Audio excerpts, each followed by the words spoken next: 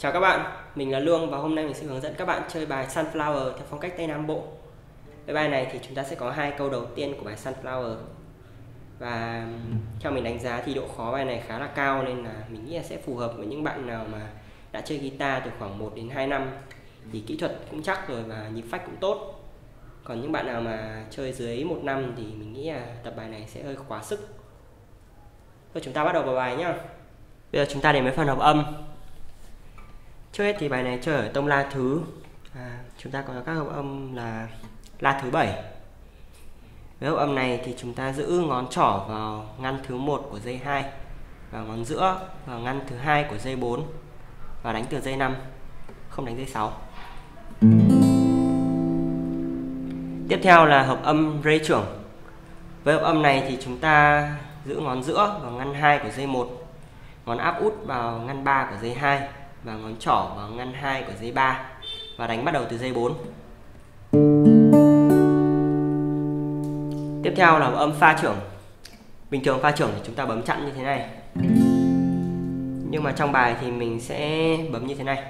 Mình sẽ đặt ngón cái lên ngăn thứ 1 của dây 6, ngón áp út lên ngăn thứ 3 của dây 4, ngón giữa lên ngăn thứ hai của dây 3 và ngón trỏ lên ngăn thứ hai, ngăn thứ nhất của dây 2 và chúng ta đánh dây 6 4 3 2 không đánh dây 5 và dây 1 tiếp theo là hợp âm son trưởng.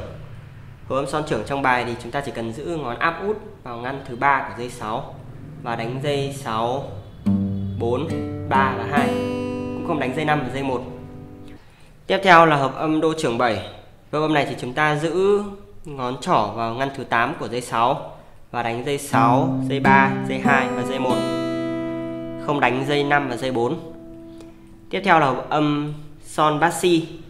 Với hợp âm này thì chúng ta giữ ngón trỏ vào ngăn thứ 7 của dây 6 và đánh dây 6, dây 4, dây 3 và dây 2 không đánh dây 5 và dây 1 và cuối cùng là hợp âm la trưởng. Hợp âm này thì chúng ta sẽ giữ ngón trỏ vào ngăn thứ hai của dây 4 ngón giữa vào ngăn thứ hai của dây 3 và áp út vào ngăn thứ hai của dây 2 và đánh bắt đầu từ dây 5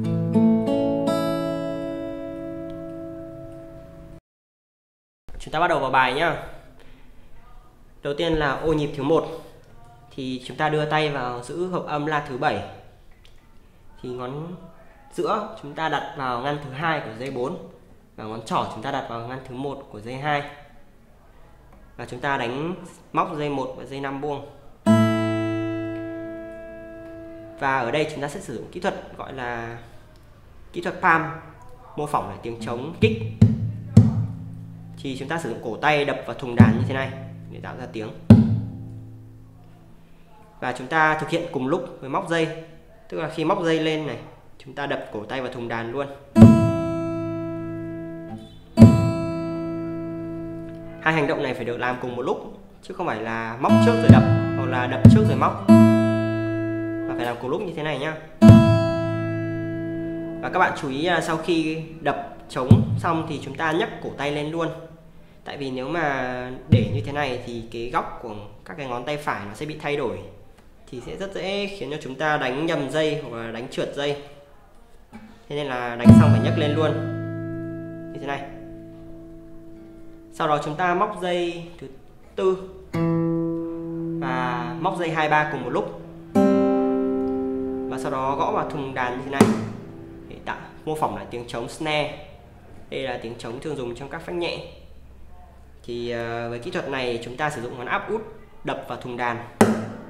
Nhớ phải đập bằng phần móng chứ không đập bằng phần thịt. Tại vì uh, đập bằng phần thịt thì nó sẽ không ra tiếng như thế này. Và với kỹ thuật này thì các bạn cố gắng chuẩn bị một cái miếng chống xước ở đây để tránh cho cái thùng đàn nó bị xước. Sau khi đập xong thì chúng ta thả tay trái ra đưa ngón út lên ngăn thứ 8 ở đây, trong tab nó có ký hiệu chữ P nằm trên một cái ngoặc. Thì kỹ thuật này gọi là pull off. Với kỹ thuật này thì bình thường nếu mà đánh hai nốt đơn, ví dụ chúng ta có hai nốt là dây một ngăn 8 và dây một ngăn 5 khi mà đánh bình thường thì nó sẽ nghe như thế này. Khi sử dụng kỹ thuật pull off thì chúng ta chỉ đánh một lần bằng tay phải. Như thế này và cái nốt thứ hai sẽ do ngón út nó miết xuống và tạo ra. Đấy nhá. Thì với kỹ thuật này chúng ta cố gắng không làm như thế này. Nếu mà chỉ nhấc ngón út ra thôi thì tiếng nó sẽ rất là yếu. Nghe nó sẽ rất là yếu. Mà chúng ta phải miết như thế này. Thì nghe nó mới khỏe. Bên cạnh cái ờ, ký hiệu chữ P thì có chữ SL nằm trên một cái dấu ngang. Thì đây gọi là kỹ thuật shift slide. Chúng ta có hai nốt là ngăn 5 của dây 1 và ngăn 2 của dây 1 bình thường khi đánh hai nốt đơn thì nó nghe sẽ như thế này.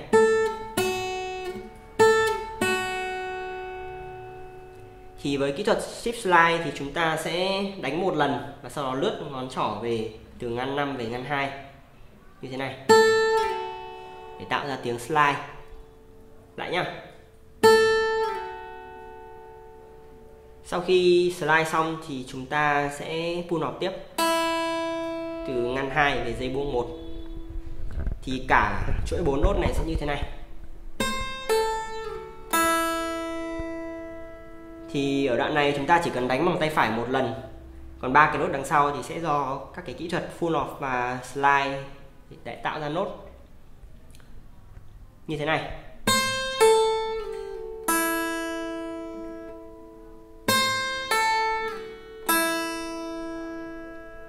Vậy là cả ô nhịp một sẽ như thế này.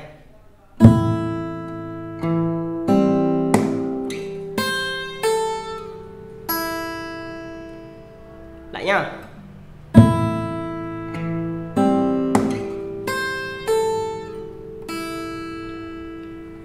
Sang tới ô nhịp thứ hai, chúng ta đưa tay vào hố âm rê trưởng.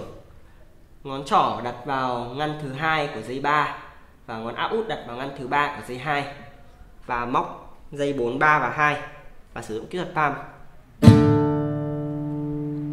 Tiếp theo chúng ta móc dây 3 ở đây thì trong tab nó có xuất hiện cái ký hiệu hình mũi tên nó ngoằn ngoèo như thế này. Đây là kỹ thuật arpeggio down. Kỹ thuật này thì nó khác với đánh móc dây bình thường. Ví dụ chúng ta đánh dây 2 và dây một buông thì nghe nó sẽ như thế này. Với kỹ thuật arpeggio down thì nghe sẽ như thế này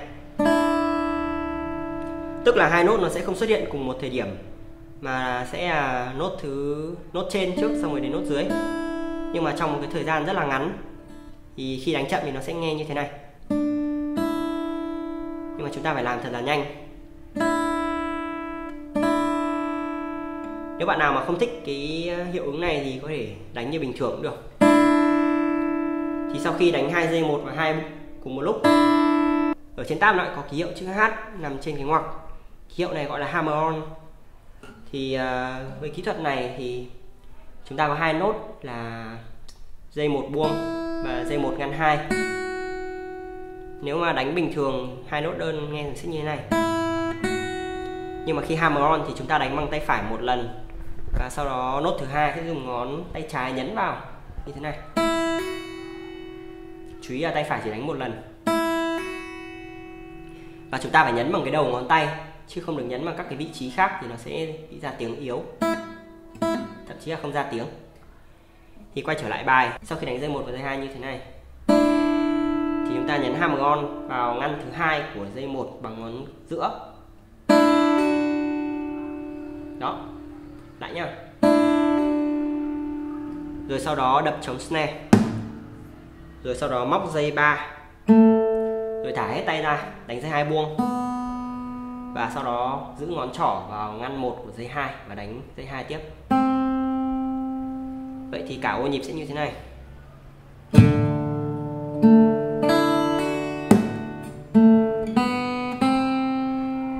Lại nhá.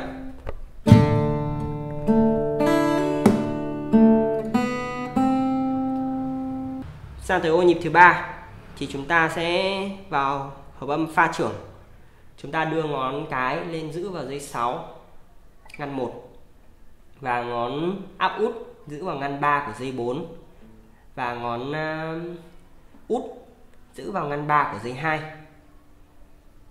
nếu mà bạn nào mà chơi đàn classic có cái cần to hoặc là tay ngắn không với được ngón cái lên như thế này thì chúng ta phải bấm chặn để thay thế. Nhưng mà bấm chặn này sẽ khó hơn một chút. Sau đó chúng ta đánh dây 6 và palm cùng một lúc sau đó đánh dây 4 và dây 2 sau đó đưa ngón áp út lên dây 6 ngăn thứ ba và sử dụng kỹ thuật palm và đánh dây 6 cùng một lúc. Sau đó thả tay ra đặt ngón út vào ngăn thứ năm của dây 2 và chúng ta sử dụng kỹ thuật slide. Slide từ ngăn 5 lên ngăn 8 như thế này. À, nếu bạn nào mà chưa thành thục kỹ thuật slide thì xem lại đoạn trước sau khi kéo xong thì chúng ta đánh dây buông một. Thì cả ô nhịp này sẽ như thế này.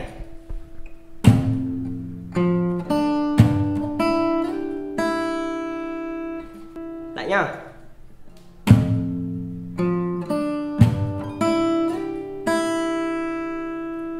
Chúng ta qua ô nhịp thứ tư.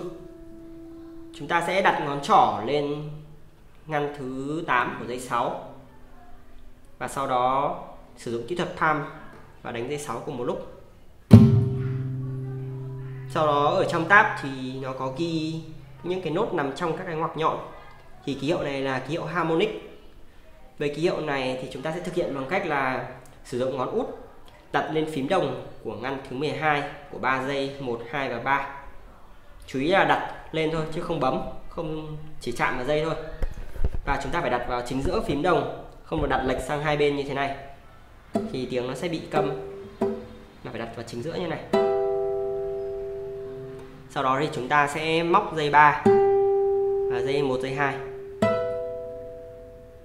thì với kỹ thuật này mà chúng ta muốn cho cái tiếng chuông này nó ngân lâu hơn, thì sau khi móc xong thì chúng ta thả tay ra để cho nó được ngân. Như thế này. Đó, thì nó sẽ ngân rất là dài. Tiếp theo chúng ta lại gõ chống snare và sau đó lùi ngón trỏ về ngăn thứ bảy của dây 6 ở đây có một cái thanh ngang ở trên cái tab, thì nó là ký hiệu slide down outward. Chúng ta đưa ngón trỏ vào ngăn thứ bảy dây 6 đánh dây 6 và sau đó đánh dây 3 buông dây 2 buông. Và trong lúc dây 3 và dây 2 buông đang ngân thì chúng ta sẽ kéo cái nốt về như thế này kéo đến ngăn mấy cũng được, xong rồi thả ra. Để tạo ra hiệu ứng slide down. Thì cả câu nó sẽ như thế này.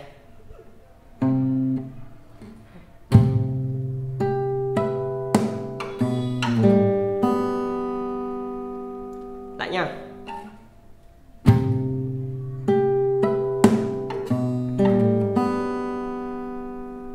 Tiếp theo đến ô nhịp thứ năm các bạn có thể thấy ô nhịp thứ năm và ô nhịp thứ sáu thì giống hệt ô nhịp thứ một và ô nhịp thứ hai. Thế nên là mình sẽ không nhắc lại nữa. Chúng ta qua ô nhịp thứ bảy luôn. Về ô nhịp này thì chúng ta lại vào hợp âm thế pha trưởng. Và chúng ta đưa ngón cái lên đặt vào ngăn thứ một của dây 6 và ngón áp út đặt vào ngăn thứ ba của dây 4 và ngón út đặt vào ngăn thứ ba của dây 2 và chúng ta đánh dây 6 và sử dụng kỹ thuật palm và sau đó lại đánh dây 4 và dây 2 xong rồi đưa ngón áp út lên ngăn thứ sáu à ngăn thứ ba của dây 6 và sử dụng kỹ thuật palm và đánh dây 6 cùng một lúc. Và đấy, sau đó thẳng út ra đánh dây hai buông. Sau đó chúng ta lại đưa ngón à, giữa về ngăn thứ hai của dây 3 và đánh dây 3 vậy là cả ô nhịp mình sẽ như này.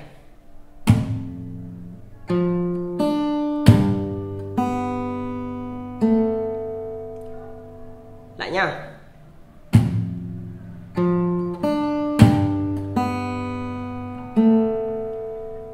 qua ô nhịp cuối cùng thì chúng ta vào âm thế la trưởng.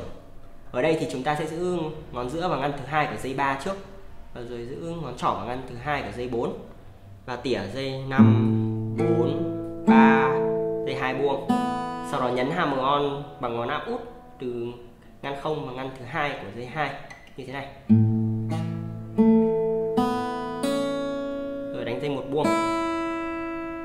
Vậy nhịp sẽ nghe như thế này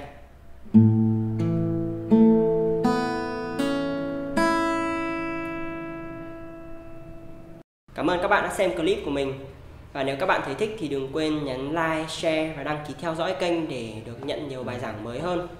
Và ngoài ra thì bên mình đang mở lớp dạy guitar offline ở Hà Nội cho những bạn nào mà muốn học kỹ hơn về guitar. thế nên là ai mà quan tâm thì hãy à, liên hệ với bên mình thông qua những thông tin mình để bên dưới clip xin chào và hẹn gặp lại.